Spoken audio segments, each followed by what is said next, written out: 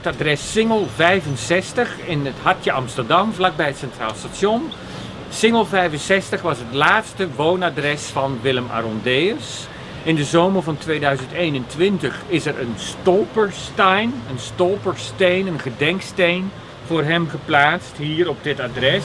Als herinnering aan uh, zijn verzetsactiviteiten en het feit dat hij hier als laatste heeft gewoond van 1939 tot 1943.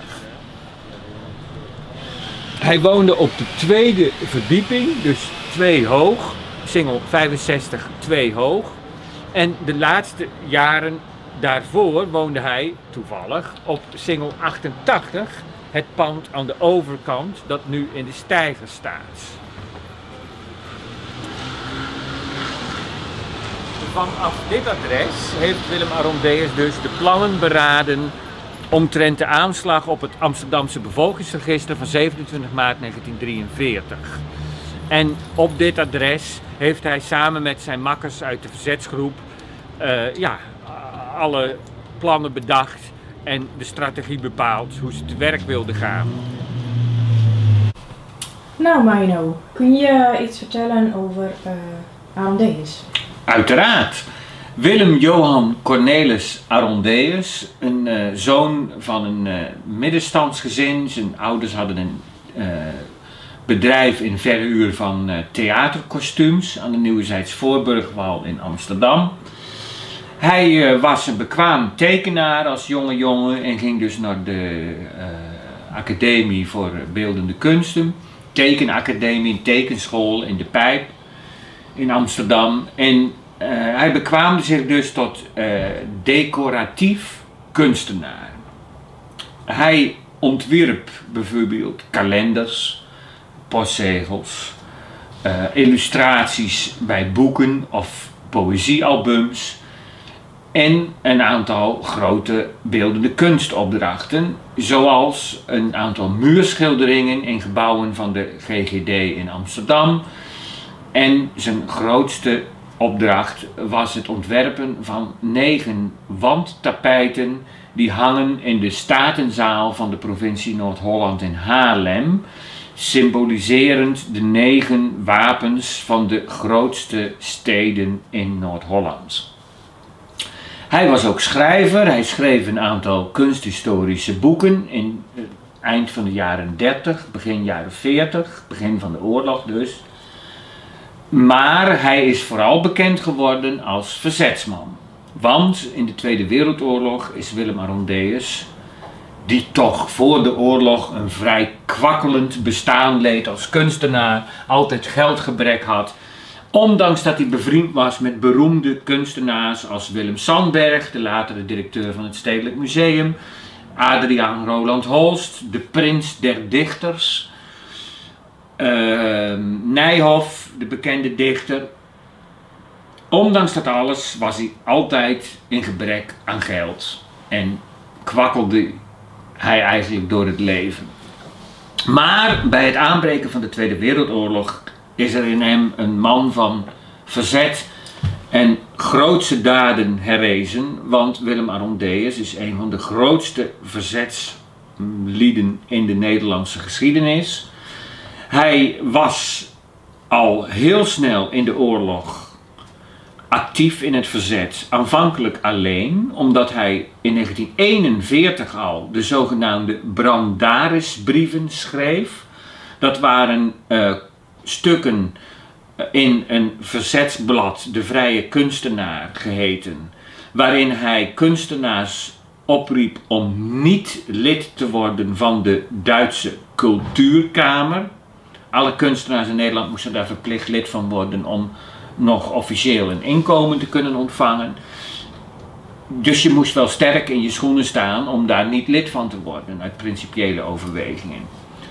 Vervolgens werd hij actief bij de Centrale Kunstenaarscommissie. Dat was een groep kunstenaars die dus niet lid werden van die cultuurkamer, die dus geen inkomen meer konden vergaren uit hun kunstenaarschap. En die werden dus uit een illegale steunkas van inkomen voorzien. Uit die groep is vervolgens de persoonsbewijzencentrale ontstaan. Die ontwierpen persoonsbewijsfalsificaties, dus valse persoonsbewijzen. Iedere Nederlander moest in de oorlog zich identificeren met een persoonsbewijs. En die kunstenaars die hielden zich dus bezig met het namaken van die persoonsbewijzen, met het vervalsen, met het eh, naamtekenen van de watermerken. Kortom, een vrij ingewikkeld proces.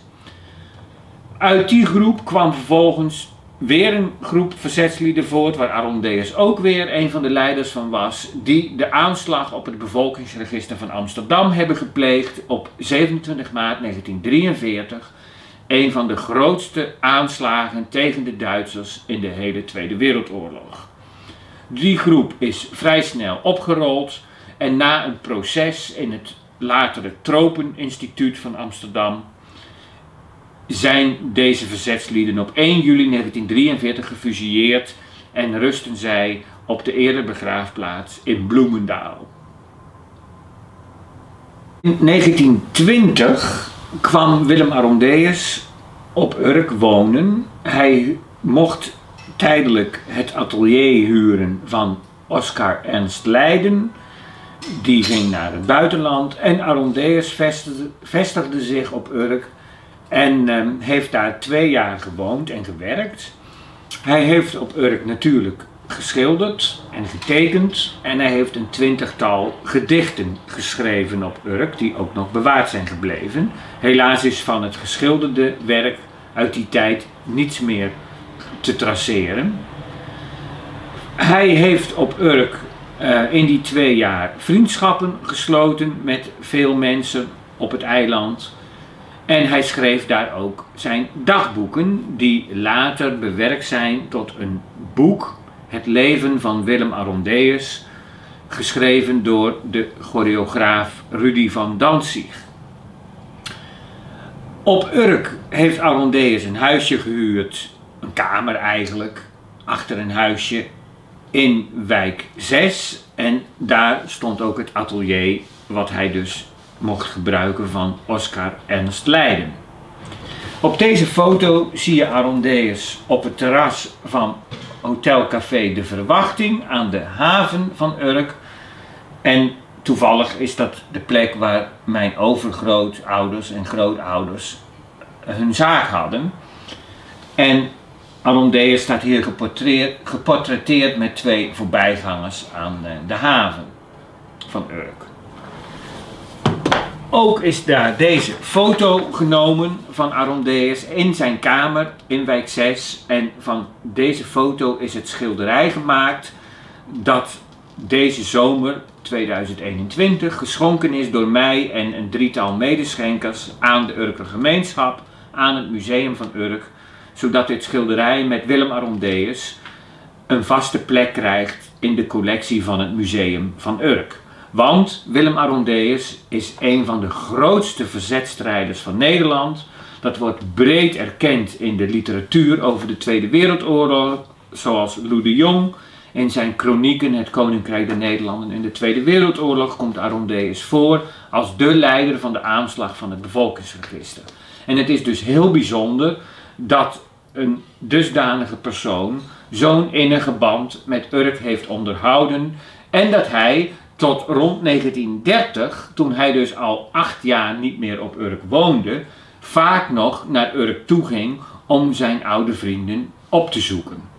Dat kunnen we lezen in de dagboeken die dus van hem bewaard zijn gebleven. In de dagboeken van Willem Arondeus blijkt dus zijn grote liefde voor Urk. Zo schreef hij in 1925, toen hij dus al drie jaar niet meer op Urk woonachtig was. Vanmiddag ter visafslag in Amsterdam, de Urkerbotter 158, een poosje gezellig gezeten. Altijd is Urk mij lief en vertrouwd, wel dieper en anders als Volendam, dat mij bijna waardeloos geworden is. En in 1922, voor zijn vertrek, schrijft hij op een zondagavond op Urk ik heb vanavond lang voor het raam gestaan. De mannen en vrouwen van het eiland wandelden voorbij in hun prachtige kleding en hele rijen jongens. Nu gaan er door het donker zingende jongens voorbij en een van hen speelt op een mondorgel en ik zou kunnen huilen om dit wonderlijke leven waarin God mij met zo'n wonderlijk hart zond. Om welke reden? Om welke vervullingen? Wat ik mooi vind aan dit citaat is dat uit deze dagboekfragmenten blijkt dat Arondeus verknocht was aan Urk en aan de inwoners van het eiland. En dat is natuurlijk iets wat ik herken. Arondeus, net als ik, woonachtig in de Haarlemmerbuurt van Amsterdam, maar toch verbonden met het oude eiland Urk en haar inwoners. Maar vooral hoop ik dat de Urkers van nu zich bewust zijn dat een van de grootste verzetslieden van Nederland op Urk gewoond en gewerkt heeft en zo'n grote liefde voor het eiland en haar bewoners had. En dat is iets wat ook in de toekomst op Urk een verhaal is dat iedereen zou moeten weten.